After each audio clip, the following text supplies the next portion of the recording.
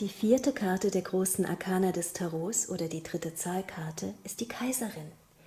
Die Kaiserin wird dargestellt als eine attraktive Frau im besten Alter, die stolz und doch gelassen und gütig auf ihrem Thron sitzt.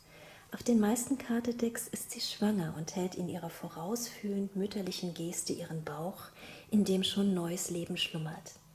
Wie die Kaiserin im Tarot hat auch derjenige, der jetzt diese besondere Karte gezogen hat, in irgendeinem Lebensbereich eine Vollendung erlangt.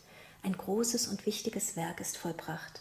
Er kann einen Erfolg verbuchen und ein Wachstumszyklus ist zu Ende, jedoch ein neuer kündigt sich schon unmittelbar an diese Abwechslung von Wachstumszyklen, die in unserem Leben ja spannenderweise immer wieder stattfindet und durch die Karte der Kaiserin repräsentiert wird, kann sich auf unterschiedliche Art und Weise in Liebe, Beruf, Gesundheit und Spiritualität auswirken.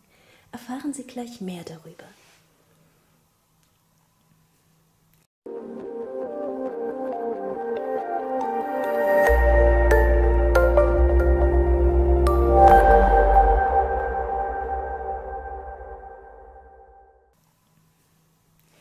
Der mystisch-okkulten Ebene ist die Zahl 3, die hier durch die Kaiserin symbolisiert wird, eine Zahl der Perfektion, denn sie entsteht durch die Addition der maskulinen 1 und der femininen 2, sodass ein drittes entsteht, was für einen Übergang in eine weitere Dimension steht. In der heiligen Geometrie ist das Dreieck, das die drei geometrisch versinnbildlicht, die erste vollkommene Flächenform und soll daran erinnern, dass alles im Leben mindestens drei Ebenen hat: Seele, Geist und Körper. Die Kaiserin, die schwangere Regentin, ist die Erfolgskarte für alle Prozesse, die geistig-seelisch sind und ins Körperliche abzielen. Sie ist die geniale Vorstufe der Manifestation, jedoch noch nicht die Manifestation selbst.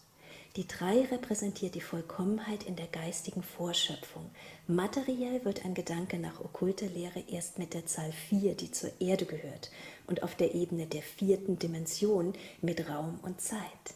Insofern steht die Karte der Kaiserin im Tarot für die Gedanken, die jetzt reif sind, für die seelische Kondition, die nötig ist, um sie zu realisieren, und die richtige Verfassung, die bald alles zusammen wie einen Pfeil in die Zukunft schickt. Jedoch noch nicht das materielle Ende dieses Prozesses ankündigt. Beruf. Wer die Kaiserin als Tarotkarte zieht, hat im Beruf gerade alles richtig gemacht. Die Akten sind geordnet, die Vorgänge überprüft, der Überblick ist da. Das Symbol steht für Ordnung, Erfolg, Sicherheit und Anspruch.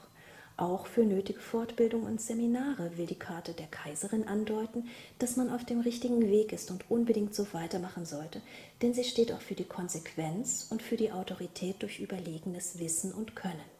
Jetzt ist der Moment gekommen, um auch im Beruf mehr Verantwortung zu übernehmen, möglicherweise ein Team zu führen oder ein neues Projekt zu übernehmen. Vielleicht steht auch die Selbstständigkeit an und man will sich sein eigenes kleines Kaiserreich mit einem Unternehmen aufbauen. Liebe. In Bezug auf die Liebe kündigt die Kaiserin eine erfolgreiche Zeit an, in der man als Paar zusammenwachsen kann. Die schwangere Hauptperson auf der Karte zeigt auch an, dass innerhalb der Beziehung gerade etwas im Wachstum ist.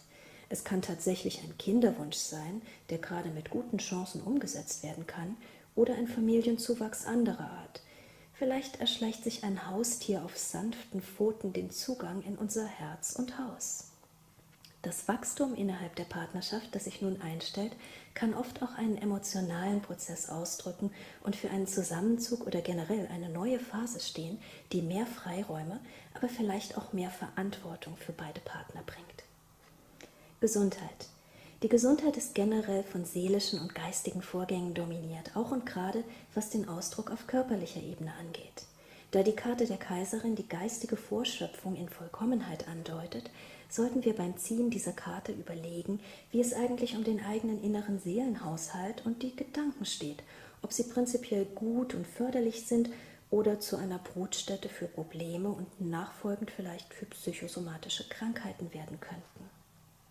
Spiritualität.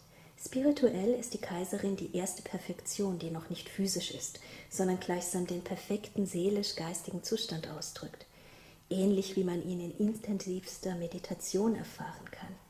Nun geht es darum zu verstehen, wie die seelisch-geistigen Prozesse in der Zeit zusammenwirken und wie fein vernetzt unsere eigene Verbindung als multidimensionale Geistwesen mit allem Seienden ist.